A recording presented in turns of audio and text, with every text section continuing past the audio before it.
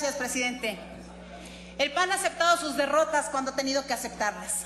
Ha aceptado sus derrotas cuando las actas nos dicen que no ganamos. Cuando se coteja acta con acta. Cuando se coteja cifra, cifra por cifra. Podemos, y reitero lo que dije hace un momento, venir a decir todo lo que se pudo hacer en el proceso con el uso de recursos públicos. No estamos hablando solo de ese manejo.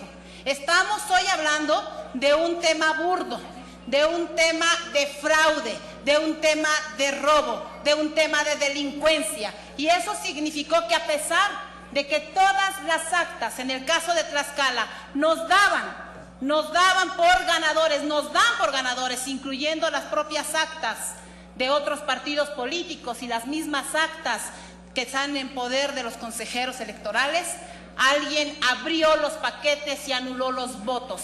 Ese alguien pagado por el PRI, por el gobierno del PRI, por los consejeros que puso el PRI. A eso nos estamos refiriendo.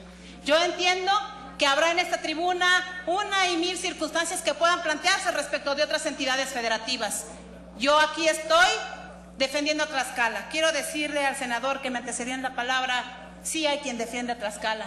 Aquí está una senadora. Pero hay además miles de ciudadanos en Tlaxcala defendiendo estos triunfos, porque nosotros el día de mañana haremos una marcha del partido al Palacio de Gobierno, al Palacio de Justicia, para defender lo que legítimamente ganamos. Ahí estaremos. Hay esos ciudadanos que estarán defendiendo el triunfo que legítimamente obtuvimos. Muchas gracias.